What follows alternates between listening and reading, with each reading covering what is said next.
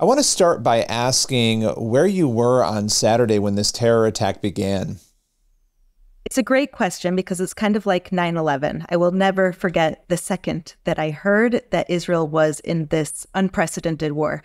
I went to synagogue actually. I keep the Sabbath in a way that I turn off all electricity and I don't check my email or listen to the radio or go online. And so it was 12 o'clock in the afternoon on Saturday, and I went to synagogue with my kids like I always do. And when I arrived, I right away knew that something was off. Um, and I'll never forget my friend Inbal came up to me and she, I guess she could see on my face, she said, yeah, I guess you don't know. Israel's at war. There are communities captured by Hamas terrorists. There are dozens, at that point, we didn't know it was over a hundred, said dozens of captives taken. And it was a moment like like how I'll remember for the rest of my life where I was on 9 11 that I will remember forever.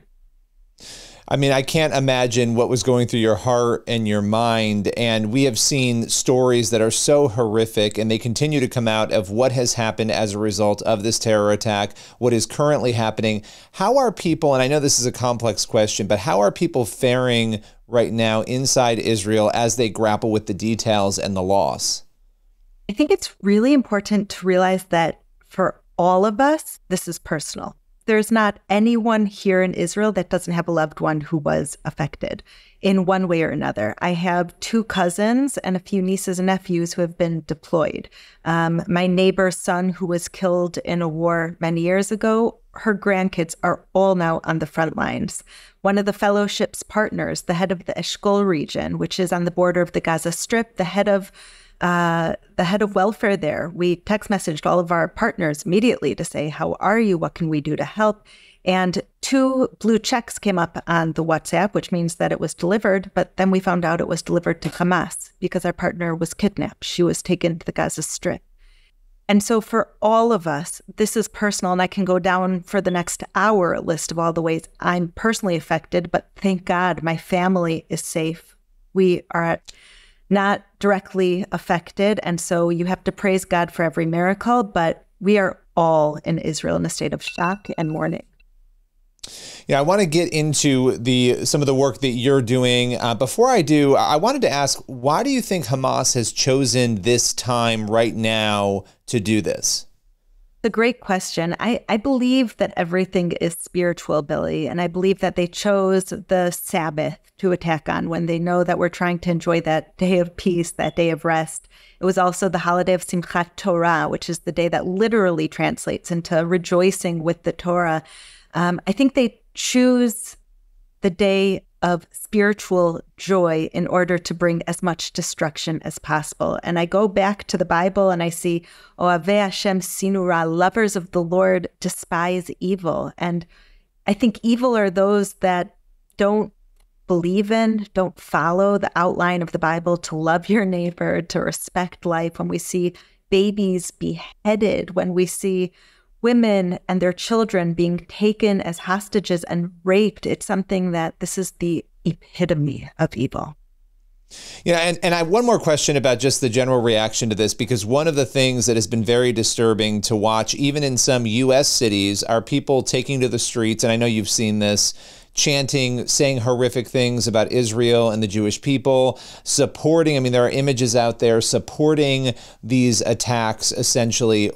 What is it like? You know, the frustration level of experiencing what you're experiencing and seeing these pockets of people who are out there across the world saying these things. It is so disturbing, but it's not surprising. I am the granddaughter and daughter in law of Holocaust survivors. I never lose sight that anti Semitism is a form of hate that has not been destroyed and that can rear its ugly head in a second. That we have done such an incredible job at making it in some ways taboo and having most of the free world know that if you stand for freedom, you stand with Israel and against anti Semitism. But unfortunately, there are many people who don't stand for freedom, who don't stand for godly values. And so as soon as you have that, what they stand for is anti Semitism. So it's disturbing to see, but it's not surprising to see.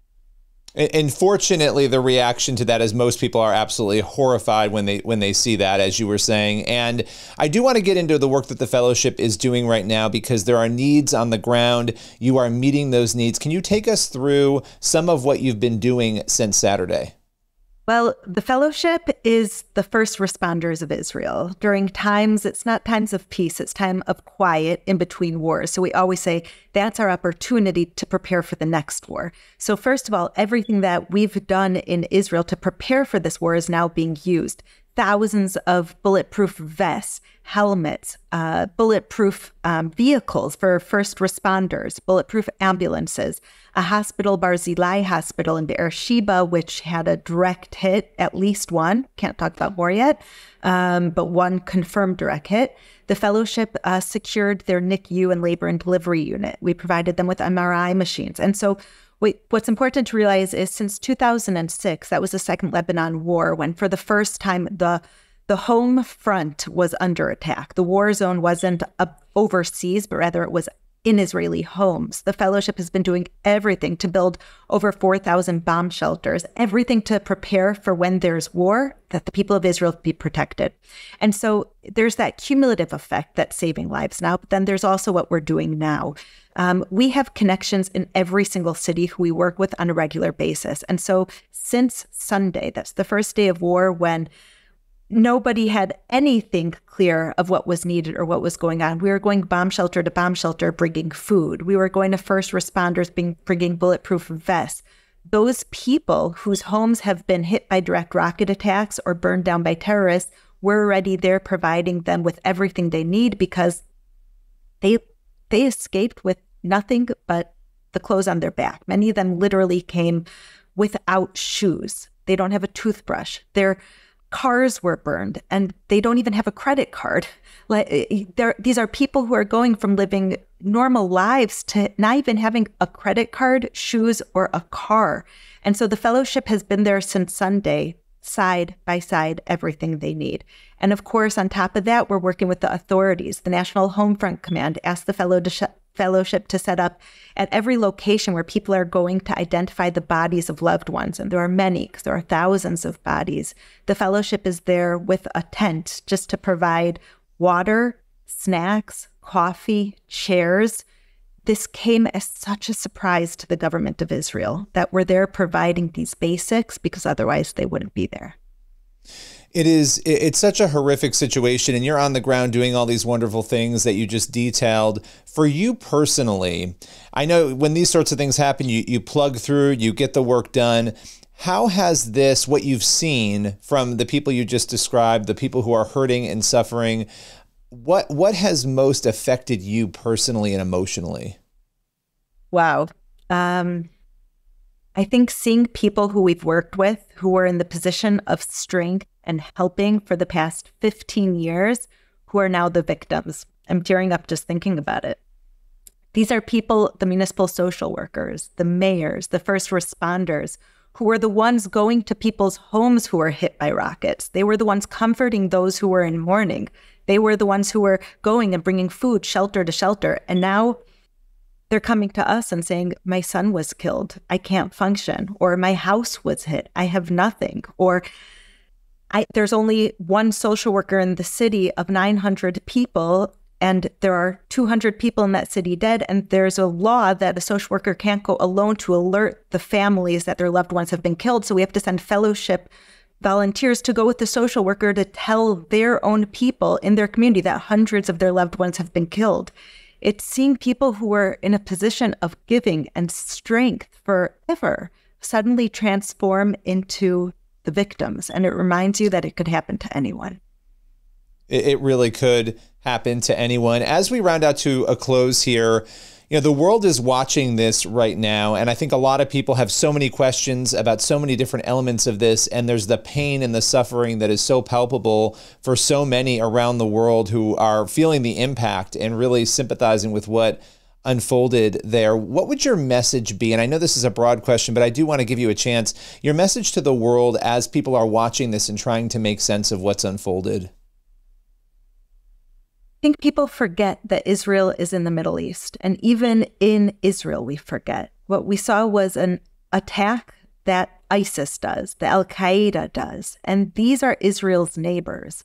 We might have been uh, finished with our official war of survival in, by, nine, eight, by 1949, but we are still fighting every day for our survival. The war that we are fighting right now. And just yesterday, three out of five of our neighbors fired rockets at us. We are a country the size of New Jersey. We are a country with only 10 million citizens, and 2 million of those citizens are Arab, Muslim, Druze, Bedouin. We are a country that is in a fight for our survival, and it doesn't happen overnight that we win. So I just pray that the support that we're feeling now will continue until we no longer face this threat of our children being taken to the Gaza Strip. Final question for you. There are people who might want to help out, they want, want to get involved in some way. Where can they go to support the fellowship? Thank you so much. The fellowship and our incredible staff are working day and night. We look at this as our reserve duty. We look at ourselves as soldiers on the social front. And so every penny literally helps to bring a meal to the bomb shelter, to bring uh, shoes to those who have been affected, to bring bulletproof vests to the people fighting on the front lines. If you want to help, you could go to www.ifcj.org and immediately those funds will get to the field. I so appreciate you taking the time today, and we'll be praying for you and the people of Israel. Thank you so much, Billy. Thank you.